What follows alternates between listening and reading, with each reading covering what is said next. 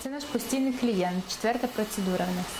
2022 yilning avgust oyida vlada xalushkina xmelnitskiy shahrida go'zallik saloni ochdi urushdan oldin ham go'zallik saloni bo'lgan faqat xarkovda після qiyin bo'ldi xarkovdagi biznesimni tashlab kelganim nima bo'larkan deb qo'rqqandim boshqa joyda ish boshlashimiz kerak edi yiqqanlarimizni shu yerda biznes ochish uchun ishlatdik xayriyatki ishlar yaxshi ketmoqda deydi xalushkina vlada xalushkina urush tufayli xarkovni tashlab ukraina g'arbidagi xmelnitskiyga ketdi yangi joyda qaytadan oyoqqa turishi kerak edi ha qiyin lekin o'rganib qoldim boshida oson bo'lmadi deydi u xalushkina biznesini qaytadan boshlagan yagona ukrainalik emas 2022 yilning bahorida valeriy podkolzin ona shahri berdyanskni tashlab xmelnitskiyga keldi berdyansk mariupol yaqinida по факту мы ехали за кордон. chetga ketmoqchi edik xmelnitskiyda faqat bir kecha qolishni rejalashtirgandik lekin hozir bu yerda uchinchi yilimiz ketmoqda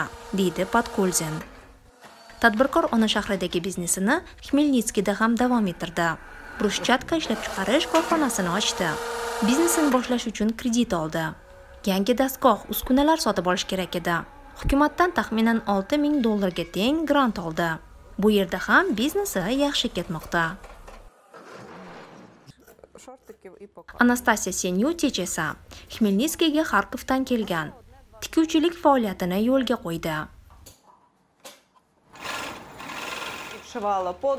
Dugonalarimga kiyimlar tikishdan boshladim.